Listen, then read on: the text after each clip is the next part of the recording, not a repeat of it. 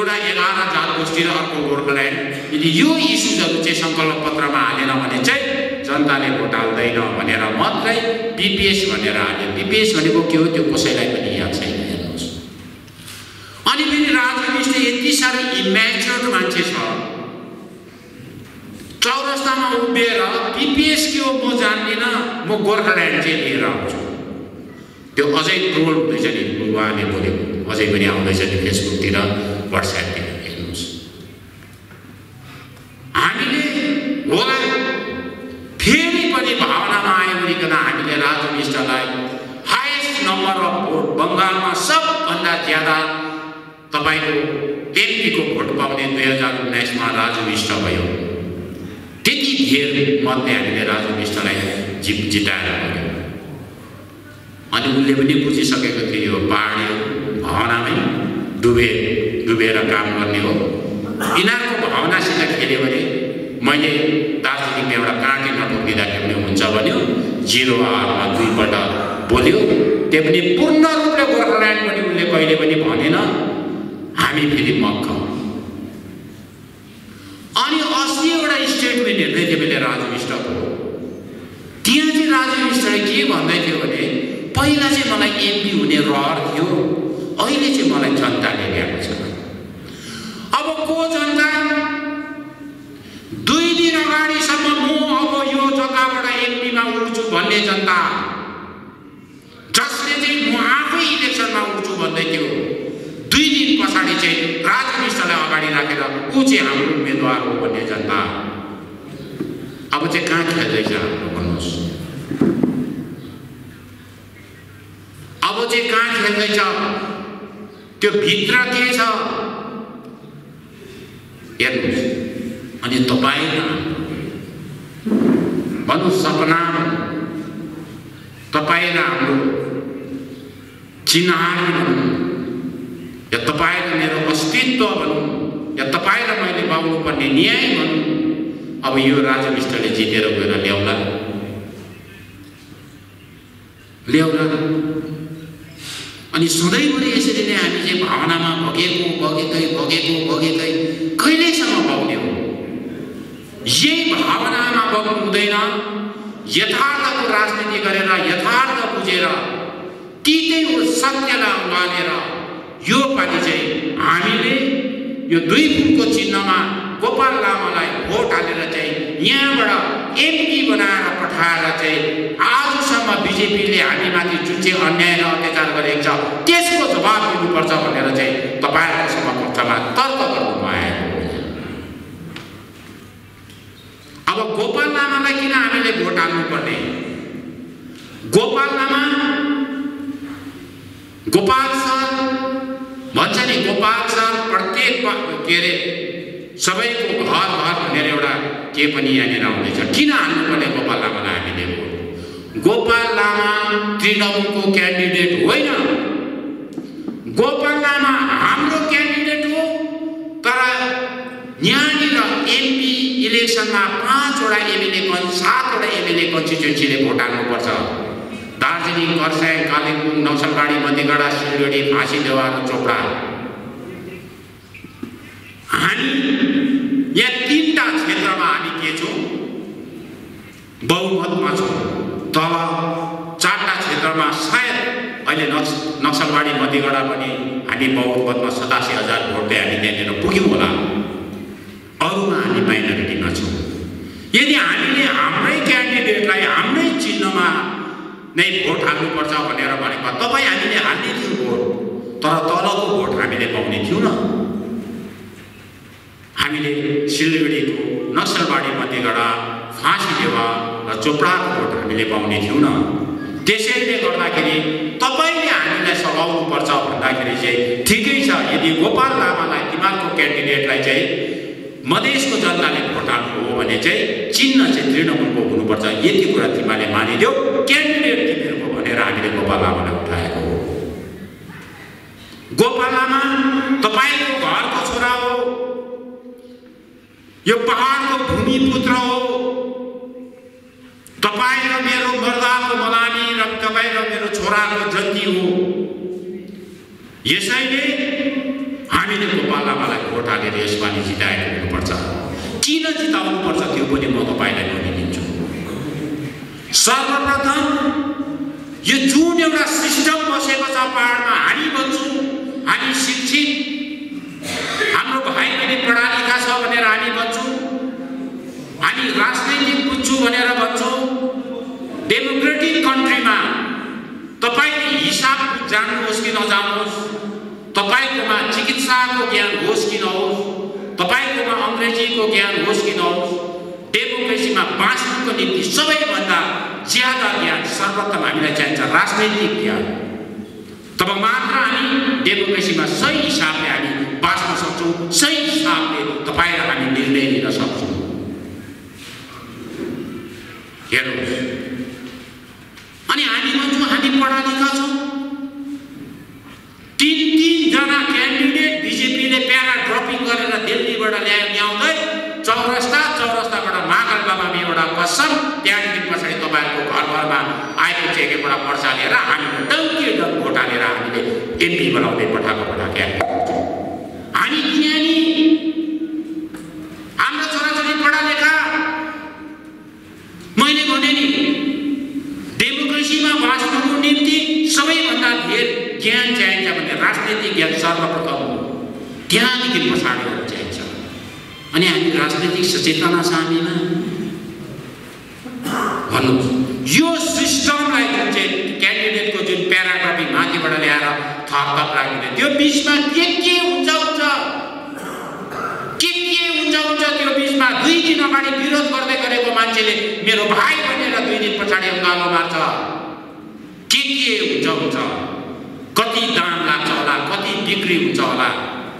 अनि तपाईँ हामी जनताले चाहिँ अँ हो भन्दै पछ्याउनु यो सिस्टमलाई अब हामीले बन्द गर्नुपर्छ। यो सिस्टमलाई हामीले बन्द गर्नुपर्छ। यदि अब हामीले दिल्लीमा एमपी बनाएर पठाउँछौँ भने तपाईँ र मेरो घर आँगनमा खेलेको हाम्रो छोरा हाम्रो भाइ हाम्रो दाजुलाई हामीले पठाउन सक्नुपर्छ। तब मात्र तपाईँ मेरो उत्थान हुन्छ। म एउटा दिन्छु तपाईँहरूलाई। दावाको नाम हामी सबैले सुनेका छौँ हेर्नुहोस् एउटा धेरै वर्ष पछाडि हामीले एउटा यो पहाडको भूमिपुत्रलाई हामीले एमपी बनाएर पठायौँ दावा नर्मुला हामीले सोच्छौँ दावा नर्मुलाले केही पनि गरेन भनेर। सोच्नु होइन। होइन। आज जुन चाहिँ बालासनको पानी तपाईँ र मैले खाँदैछु त्यो दावा नर्मुला सरले ल्याएको हो ऊ यहाँको भूमिपुत्र थियो तपाईँ र मेरो घरको अवस्था उहाँलाई याद थियो याद थियो यहाँको पानीको दुःख उहाँलाई याद थियो सबै कुरो उहाँलाई याद थियो र उहाँले गर्नु सक्ने एउटा काम उहाँले गरिदियो त्यो बालासनबाट पानी ल्याइकन आज तपाईँ र मैले जुन बालासनको पानी खाँदैछौँ त्यो दाला रघुला सरले युपिए वानमा युपिए वानमा उहाँले पास गराइकन ल्याएर ल्याएको यो प्रोजेक्ट। तर जसवन्त सिंहलाई दार्जिलिङको दुःखै याद छैन उसले गोर्खाल्यान्ड मात्रै देख्यो हाम्रो भावना मात्रै देख्यो अब त्यो भावना र गोर्खाल्यान्ड ल्याउनु उसले ठाउँै पुगेन यसै सालुवाले भयो तुल्यो जय जय काली मा काली आयो आयो गोर्खाली जो बोले सो निहाल सर्सिया काल भनेर पाँच वर्ष खाइदियो उसलाई यहाँको यथार्थ यहाँको दुःख केही पनि याद थिएन। राजु विष्ट यो मान्छेलाई त यो भाइलाई राजु विष्ट भाइलाई त झुट बोल्नुमा पिएचडीको डिग्री दियो भने पनि कम्ती हुन्छ यति दिन झुट बोल्छ हन्ड्रेड डेजको पैसा मैले रोकेको भन्छ कानुनभन्दा माथि हो हन्ड्रेड डेजको पैसा एउटा एमपीले रोक्दाखेरि रोकिने कुरो हो झुटै झुट बोलेर उसले के गर्यो पाँच वर्ष उसले दोहोरिदियो अब फेरि पनि हामीले गल्ती गर्नु हुँदैन यो सिस्टम हामीले अब टुङ्ग्याउनु पर्छ यहाँनिर अब हामीले हाम्रो भूमिपुत्र पठाउनु पर्छ अब कुरा हामीले हामीले हामीले किन गोपाल लामालाई जिताउनु पर्ने हेर्नुहोस् सिम्पल गोर्खाल्यान्ड सबैको यहाँभित्र छ यहाँनिर छ गोपाल लामालाई भोट हाल्नु चाहिँ गोर्खाल्यान्डको विरोध गर्नु होइन आज जसले गोर्खाल्यान्ड हिमायत गर्दैछ नि यो टिके दाजु र मलाई दिल्लीबाट पक्रेर ल्याउँदाखेरि चाहिँ भाग्दै थियो तिनीहरू हामी दुईजनालाई टु थाउजन्ड सेभेन्टिनको आन्दोलनमा दिल्लीबाट गुडगाउँबाट पक्रेर लिएर आएको सबभन्दा लामो जेल राखेको हामीलाई। त्यति मात्र होइन हाइएस्ट नम्बर अफ केस एक सौ त्रिपन्नवटा केस हामीलाई लागेको हेर्नुहोस् हामीलाई गोर्खाल्यान्डको माया लाग्छ छैन छैन? हामीले त्यति बेला एसएसआरमा ल्याएको चलाकी पनि बुझेका थियौँ न सबै बुझेका थियौँ तर साथसाथमा कतै गोर्खाल्यान्ड पनि बिजेपीले दिन्छ कि भनेर हामीले के गर्यौँ? सर्वस्व गुमाएर हामी अगाडि बढ्यौँ। आज त्यो व्यक्तिहरू तिन तिनजना एडभोकेट डिके प्रधान म स्वयं र पिटिओला हामी जेलमा हुँदाखेरि चाहिँ भागी हुँदै थियौँ। नेता त्यस्तो हुन्छ ठाडे आयो भने तेर्सो पठाइदिन्छु कसले भनेको? रोकाले भनेको ठाडो भने तेर्सो पठाइदिन्छु डिके प्रधानले भनेको ठाडो भने तेर्सो पठाइदिन्छु ओलाले भनेको होइन। अनि छोड्छ सरकारले। सरकारले पठाएको पुलिसलाई सरकारले पठाएको फोर्सलाई चाहिँ ठाडो भने तेर्सो पठाइदिन्छु भन्छ। सरकार चाहिँ अन्त के गर्छ? ए हुन्छ भनेर फर्केर जान्छ भयो यहाँनिर कतिवटा नहुनुपर्ने घटनाहरू पक्का भएको तर त्यो घटनाहरू गराउने नेता हो गभर्मेन्ट फोर्सलाई ठाडो आयो भने तेर्सो पठाइदिन्छु भने चाहिँ के गर्छ माला लगेर जान्छ कि ठोक्छ निर्दोष जनतालाई मार्यो त्यति बेला निर्दोष जनतालाई त्यति बेला मार्यो बिस अगस्त दुई हजार सत्तरमा झन्डै मलाई पनि ठोकेको यो चेलीबेटीले मलाई नजानेको भए। मलाई पनि ठोकेको आज फेरि त्यही नेताको पछाडि लाग्नु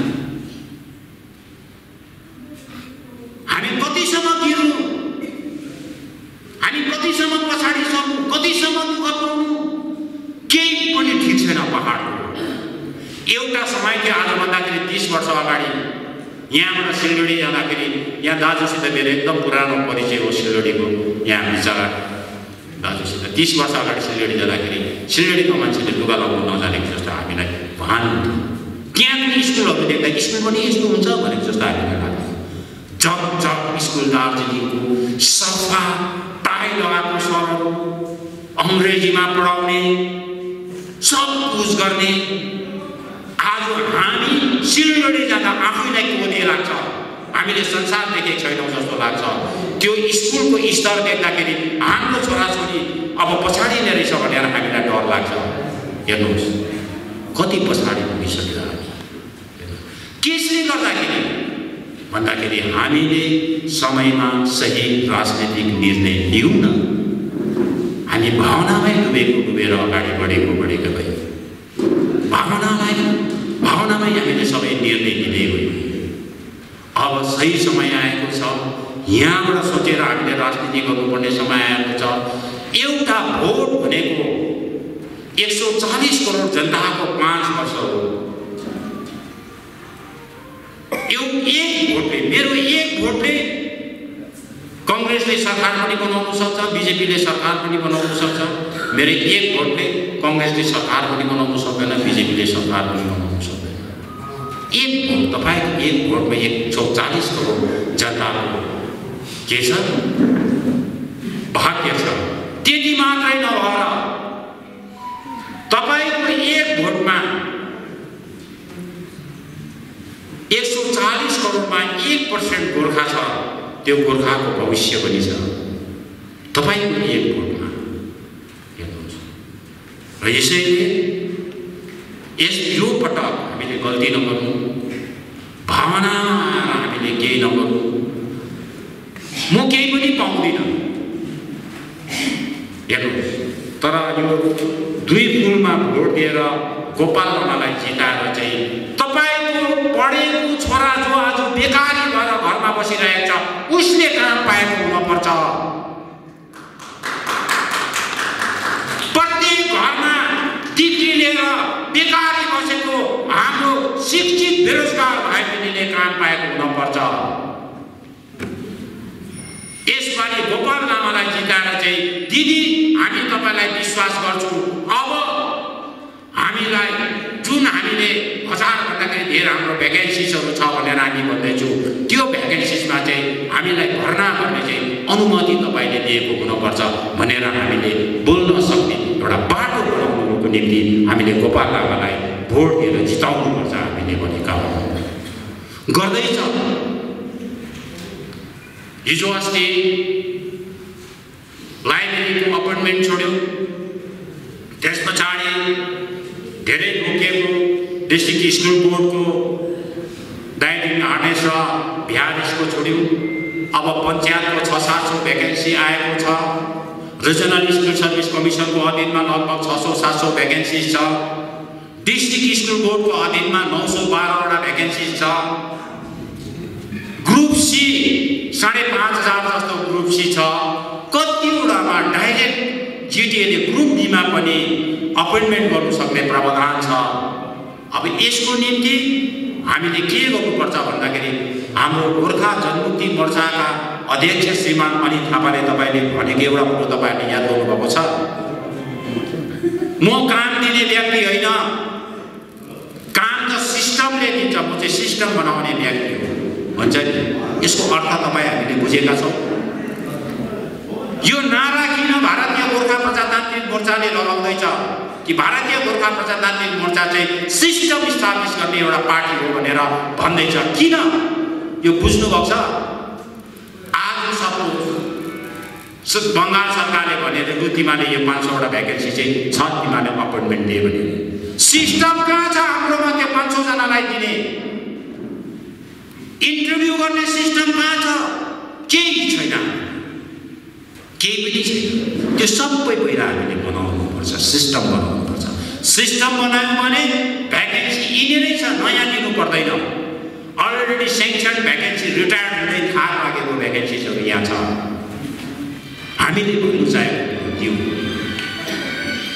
र म तपाईँहरूलाई एउटा प्रार्थना गर्छु।